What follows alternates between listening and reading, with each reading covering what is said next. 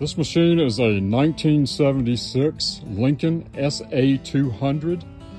And uh, around 1970, they started putting uh, a little bit of aluminum in the uh, wiring uh, inside these armatures in different places.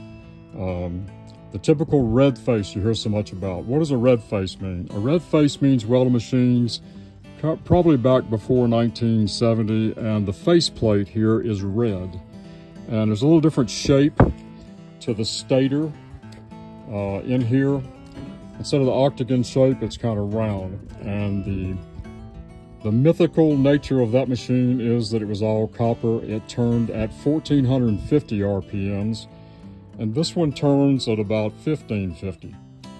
But I took this machine and uh, had them totally rebuild it. It's a totally rebuilt engine and uh, everything, belts, everything, water pump, governors, everything on this machine. I, instead of the mag, we removed the mag because it doesn't make a hot enough spark here when it gets cold and we put electronic ignition in. Um, had them put a glass pack muffler on it. Um, that makes it a lot quieter and uh, did a lot of things, everything. We shortened it. We shortened it one inch here at the radiator guard and shroud. It did stick out an inch and we brought it in and uh, new alternators, everything. I think I have like nine hours on this engine, got it broken. And uh,